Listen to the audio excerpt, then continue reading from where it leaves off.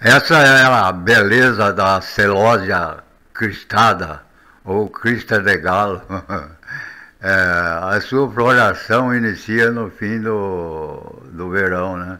Essa espécie possui cores vivas, né? muito bonitas, né?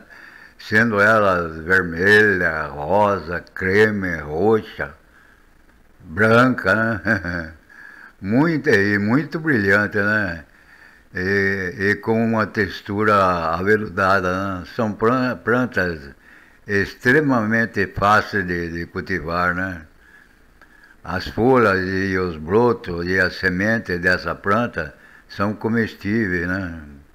E é medicinal também, né? É, cultivar ela é em pleno sol, né? Com, com o solo bem drenado, né? E rico em nutrientes, né? Talvez seja necessário, né? Estarquear, estarquear algumas plantas maiores para que as suas flores, que são bem pesadas, né? Não danifique o pé ao florescer, né? As flores da celosa podem durar até 30 dias, né? porém preciso de uma poda após esse tempo para que nova florescência, né? Para nova florescência, né? As flores começam a secar de baixo para cima. Assim que a planta estiver com a metade dela seca, pode se remover as articulações, né? Com isso, a espécie concentra energia para produzir novas hastes né, laterais para a sua próxima floração. Né. É, pode ser plantada diretamente no canteiro, em vasos, né, no início da primavera. Né. Essa planta exige pouco cuidado né, em relação às pragas. Né.